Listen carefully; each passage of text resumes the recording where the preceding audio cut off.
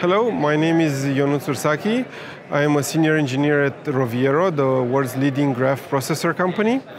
We provide a full stack AI solution that combines a software runtime with a hardware IP. Uh, today we are showcasing our new product, the uh, CortiOne uh, Premium solution that uh, embeds an ARM core inside our hardware IP. Why did we do this?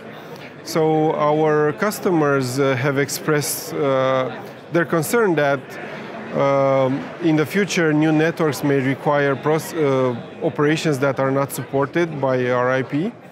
So by introducing an ARM core, we provide the flexibility uh, and future proofing of our solution. Our software stack will automatically redirect uh, new functions to the ARM core while doing the heavy lifting on our NPU solution.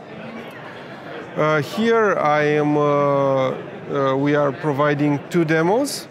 One is for uh, a low-end solution uh, and one is a high-end solution because the flexibility of having an IP core is that we can scale from 0.1 tops up to 500 tops at uh, 30 tops per watt performance.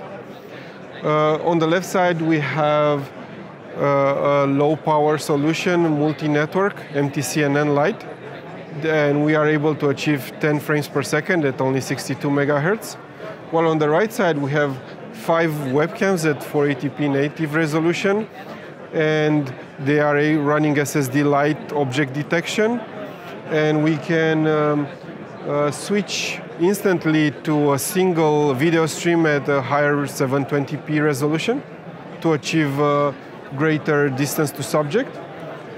And uh, we are able to achieve 6 FPS at only 62 megahertz. So you can imagine scaling so this solution to 1 gigahertz, the performance we can achieve uh, with very high efficiency. Please uh, contact us uh, at uh, roviero.com. Thank you very much.